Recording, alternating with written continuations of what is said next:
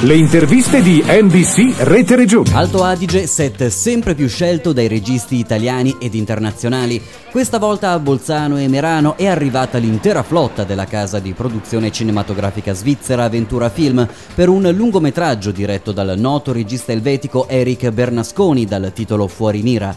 A raccontare la trama ai nostri microfoni lo stesso regista Eric Bernasconi. Prima di tutto è ambientato in Svizzera proprio perché avevamo bisogno di ambientarlo da qualche parte. È una giornata d'estate in cui un tassista di origine togolese viene colpito da uno sparo. Dopo una notte in cui ha lavorato con il suo taxi, è tornato a casa, ha fatto l'amore con la propria ragazza, in un quartiere che sembra idilliaco, in cui tutti si vogliono bene, in cui l'integrazione sembra perfetta.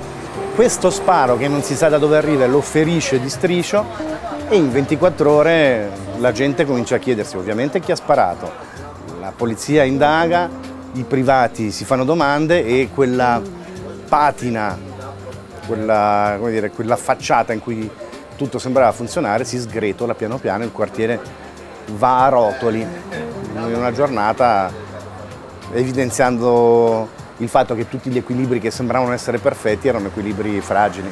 Un film interamente ambientato in Ticino, nella Svizzera italiana, ma quindi qual è il motivo che ha spinto la produzione a realizzare interamente le riprese in Alto Adige? Perché siamo venuti qui, il motivo trascinante è un motivo economico, perché i fondi della BLS permettono eh, di venire eh, a girare qui con un incentivo economico, poi dopo ovviamente ci costringono giustamente a spendere un, un 150-170% dei, dei soldi che arrivano, quindi insomma eh, questo fondo ci permette di chiudere il budget e questa è stata la prima spinta. La seconda spinta artistica è stata quella che io, volendo descrivere la giornata di un quartiere universale, non volevo che eh, la storia venisse confusa con la storia di un quartiere ben preciso della Svizzera italiana e riconoscibile, quindi questo mi permette di spaesare la vicenda nella speranza di renderla appunto universale, quindi che possa riguardare qualsiasi spettatore che che vede questa storia. E proprio come ha sottolineato Eric Bernasconi, dietro la realizzazione del film c'è anche l'importante contributo della BLS, Business Location Südtirol,